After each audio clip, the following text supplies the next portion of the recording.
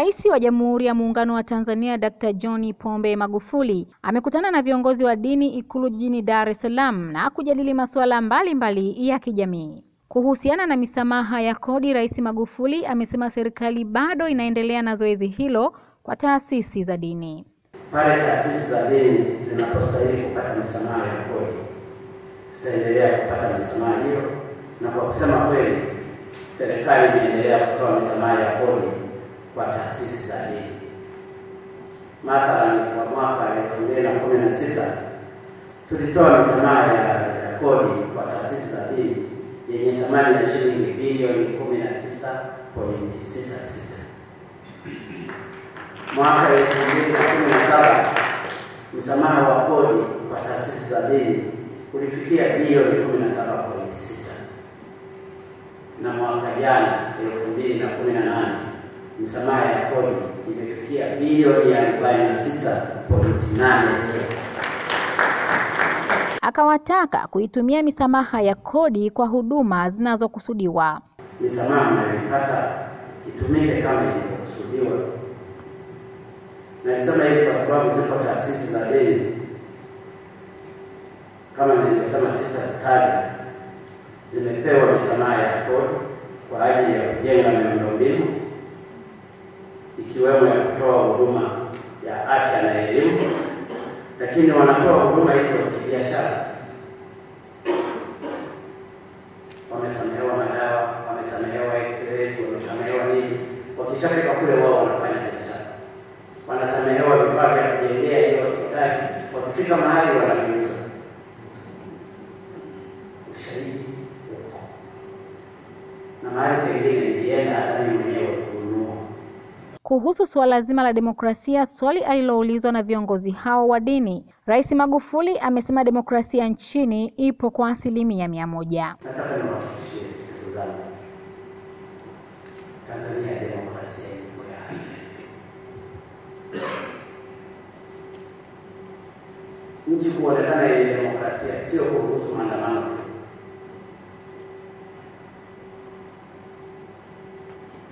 kwamba akiwa kila siku huyu anapita anaandamana hapa, huku wanatengeneza barabara, wengine wanaandamana, mnafanya nini? Wanaandamana ndio kuzungumza demokrasia. Yes, demokrasia. Mmoja wa viongozi hao wa dini alimwomba Rais Magufuli kuugawa mkoa wa Ruvuma na kuwa mikoa miwili ili kurahisisha huduma za kijamii. Kutatua kero za wananchi si kuwa na mikoa au kuwa na wilaya. Kule ni kuwapa ulaji wa utendaji wa serikali. Kikubwa kinachotakiwa kwa ajili ya kusaidia watu ni kuwapelekea mahitaji yao, lakini sijakataa ni swala la kuwa na mkoa au wilaya mpya, lakini kipi kitangulie? Kwa sababu kupanga kuchagua. Rais pia alizungumzia changamoto katika miradi ya maji. Tatizo tulilokuwa nalo ambayo tulikuta, miradi mingi ilikuwa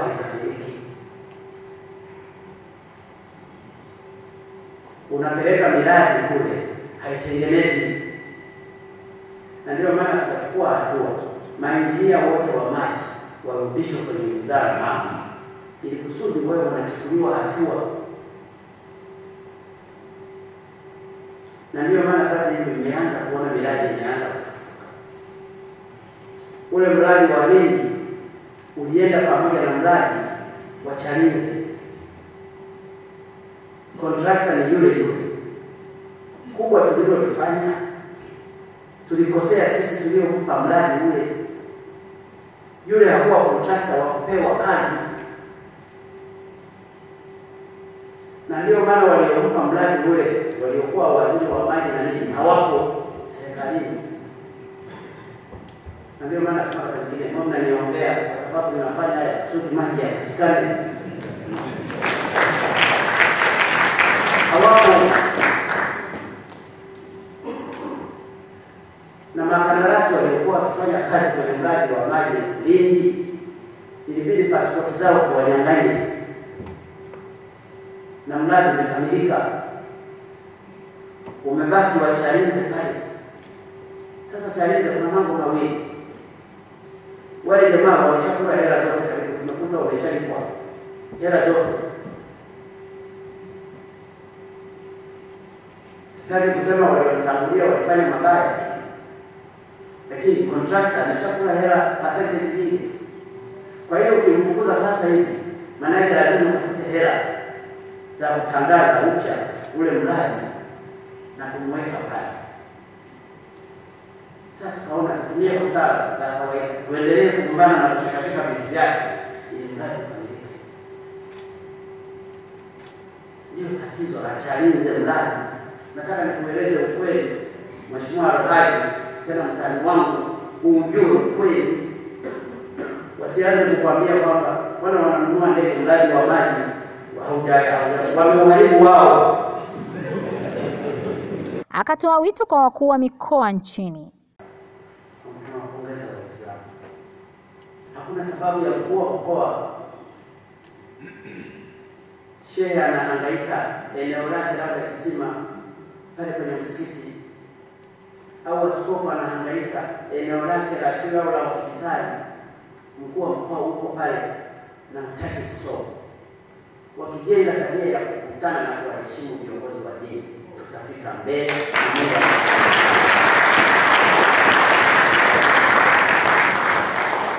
Lakini bahati mbaya tumekuwa watawala mno, utawala umetujenga kichwani, na ndio maana mimi nawaomba na viongozi wa dini, kila siku naomba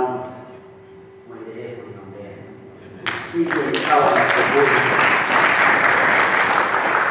Kazi hii ni temporary, nimepewa jukumu na wananchi, ni jukumu la kuongoza, lakini ni la muda, na ninaamini kabisa kupitia sala zenu na maombi yenu, Mungu aliwasikia katika hii kazi. Kwa hiyo ninafanya wajibu wangu kama mtumishi, lakini sio kama mtawala.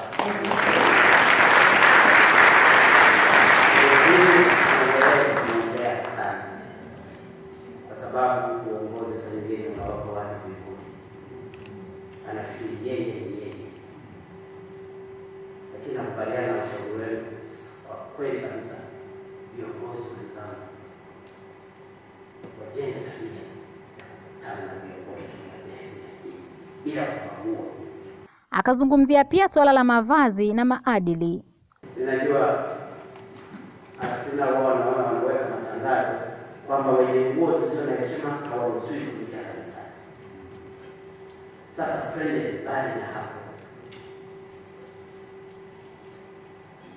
tusizungumze tu wasiruhusiwe kuja kanisani, wasiruhusiwe mahali popote. Njia hii inajenga heshima, na ndio maana wanafurahi saa nyingine kwenye kanisa la mzee Kakobe wao wanafunga kitambaa, so utaona siku ya Jumapili wote wana vitambaa vyeupe, hawataki kuonekana nywele, lakini hizo ndizo kanuni, hizo ndizo sheria. Ni lazima tuheshimu sheria, ni lazima tuheshimu pia mamlaka, na hayo ndiyo mahali yaliyowekwa. Kwa hiyo mimi ninaamini kabisa madhehebu yote yaliyoko ndani ya nchi yetu,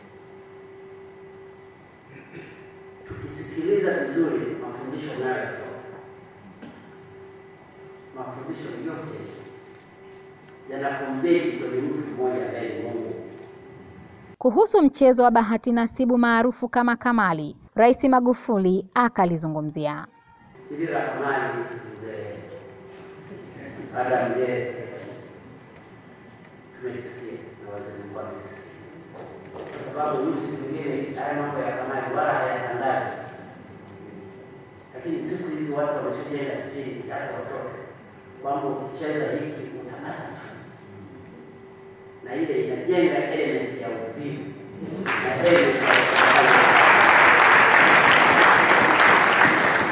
hata kama serikali inakusanya mapato,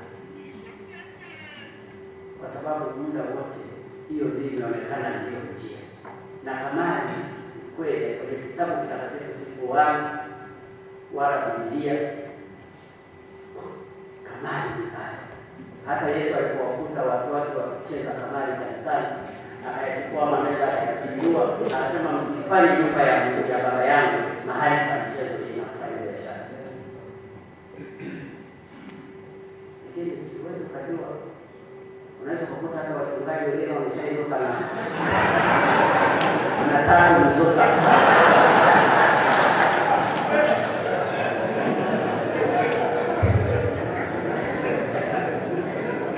inawezekana wako wao mashehe ameshapata tatu kutoka, lakini ni kweli mnatufundisha, na ndio maana ninasema vikao hivi kwangu mimi na viongozi wa dini na madhehebu mbalimbali nitakuwa nakifanya ikiwezekana kila mwaka